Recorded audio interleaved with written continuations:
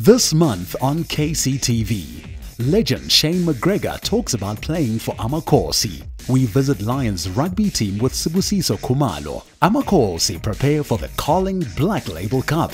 Shaba takes us to his kasi in Phiri. We see how the season ended at the annual Kaizer Chiefs Award ceremony.